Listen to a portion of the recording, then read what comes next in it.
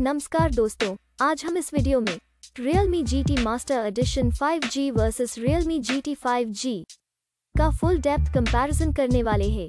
इसके अलावा इसी कीमत में आने वाले दूसरे स्मार्टफ़ोन की जानकारी भी आपको वीडियो के लास्ट में देंगे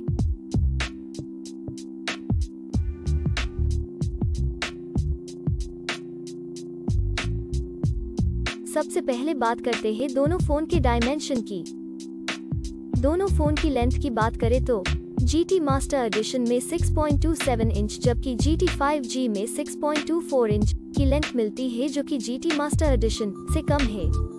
विथ की बात करें तो GT Master Edition में 2.89 इंच जबकि GT 5G में 2.89 इंच की विथ मिलती है, जो कि सेम जैसी ही है। बात करें थिकनेस की तो GT Master Edition में 0.31 इंच जबकि GT 5G में 0.33 इंच की थिकनेस मिलती है, जो कि GT Master Edition से ज़्यादा है। अब बात करते हैं वेट की तो। GT Master Edition में 174 ग्राम्स जबकि GT 5G में 186 ग्राम्स का वेट देखने को मिलता है, जो कि GT Master Edition से ज़्यादा है। तो चलिए अब हम डिस्प्ले को कंपेयर करते हैं। डिस्प्ले टाइप की बात करें तो दोनों फ़ोन में same he. Super A M O L E D की डिस्प्ले मिलती है। एस्पेक्ट रेशियो दोनों फ़ोन में सेम ही। 20 रेशियो 9 मिलता है। बात करें डिस्प्ले साइज़ की तो दोनों फ़ोन में सेम ही। 6.43 इंचेस मिलती है। डिस्प्ले रेजोल्यूशन दोनों फ़ोन में सेम ही। 1080 बाई 2400 मिलता है। Screen to body ratio GT master edition में पिचासी दशमलव तीन एक प्रतिशत, जबकि GT 5G में पिचासी दशमलव नौ दो प्रतिशत मिलता है। बात करें PPI डेंसिटी की तो दोनों फ़ोन में सेम ही।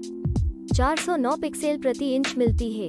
अब देखते हैं डिस्प्ले के अन्य फीचर्स यानी विशेषताएँ की, जो कि मोबाइल फ़ोन का महत्वपूर्ण हिस्सा है। अब बात करते हैं सबके पसंदीदा फीचर्स कैमरा की। दोस्तों, सबसे पहले बात करें मैन कैमरा की तो GT मास्टर एडिशन में चार कैमरा देखने को मिलता है, जिसमें कि wide angle primary camera ultra wide angle camera macro camera देखने को मिलता है। और जी टी फाइव जी की बात करें तो इसमें भी हमें चार कैमरा देखने को मिलता है, जिसमें कि primary camera ultra wide angle camera macro camera देखने को मिलता है। बात करें वीडियो कैमरा की तो GT मास्टर एडिशन में नौ डिफरेंट टाइप के फीचर्स मिल जाते हैं। और GT 5G की बात करें तो उसमें आठ डिफरेंट टाइप के फीचर्स मिल जाते हैं। अब बात करें फ्रंट कैमरा यानी कि सेल्फी कैमरा की तो GT मास्टर एडिशन में सिंगल कैमरा देखने को मिलता है, जिसमें कि सात डिफरेंट फीचर्स मिलते हैं। और GT 5G में भी सिंगल कैमरा देखने को मिलता है, जिसमें पाँच डिफरेंट फीचर्स मिलते हैं।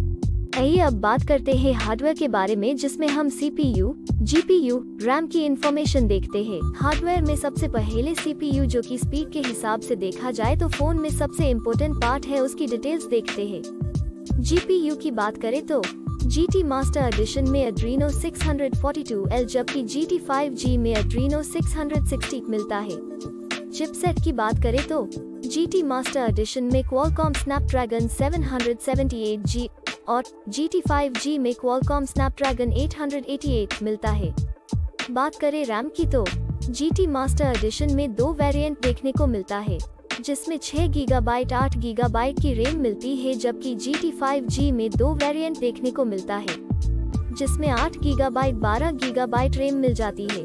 बात करें इंटरनल मेमोरी जिसको हम स्टोरेज भी कहते हैं, वो GT मास्टर एडिशन में दो वेरिएंट देखने को मिलता है। जिसमें 128 गीगाबाइट 128 गीगाबाइट की स्टोरेज मिलती है, जबकि जी GT 5G में दो वेरिएंट देखने को मिलता है, जिसमें 128 गीगाबाइट 256 गीगाबाइट स्टोरेज मिल जाती है।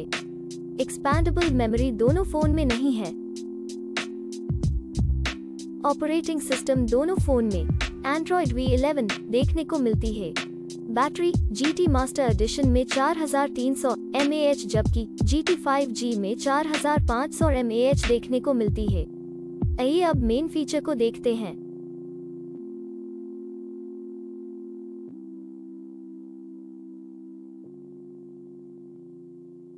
कलर्स की बात करें तो दोनों फ़ोन में सेम ही। तीन कलर्स ऑप्शन देखने को मिलते हैं।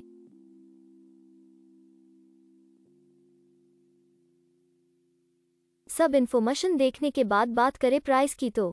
GT मास्टर एडिशन में दो वेरिएंट देखने को मिलते हैं, जो कि 6 गीगाबाइट रैम 128 गीगाबाइट स्टोरेज के साथ पच्चीस हज़ार नौ सौ निन्यानवे रूपीज आठ गीगाबाइट रैम 128 गीगाबाइट स्टोरेज के साथ सत्ताईस हज़ार चार सौ अस्सी रूपीज में मिल जाता है। वही अगर बात करें जी टी फाइव जी की तो उसमें दो वेरिएंट देखने को मिलते हैं, जो कि आठ gigabyte gigabyte RAM 128 gigabyte storage के साथ सैंतीस हज़ार नौ सौ निन्यानवे रुपीज़ बारह गीगाबाइट रैम, दो सौ छप्पन गीगाबाइट स्टोरेज के साथ इकतालीस हज़ार नौ सौ निन्यानवे रूपीज में मिलते हैं। दोस्तों, अब बात करते हैं प्रॉन्स एंड कॉन्स यानी कि फ़ायदे और नुकसान की तो। दोनों फ़ोन में चार, फ़ायदे और एक, नुकसान देखने को मिलता है।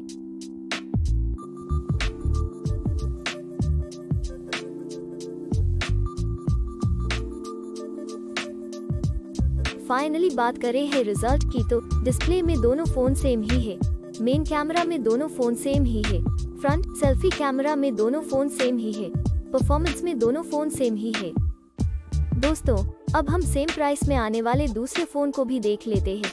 पहले कॉम्पिटिटर फ़ोन की बात करें तो उसमें ओप्पो Reno 6 है, जो कि इकतीस हज़ार आठ सौ नब्बे रूपए में मिलता है। दूसरा Xiaomi Mi 11X है, जो कि उनतीस हज़ार आठ सौ नब्बे रूपए में मिलता है।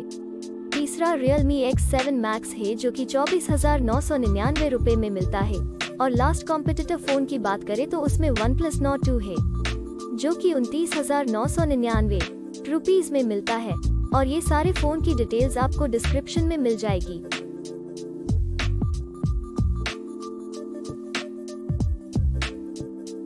दोस्तों, अगर आपको ये वीडियो अच्छा लगा है या आपके किसी भी काम में आया है तो प्लीज़ लाइक करना मत भूलना।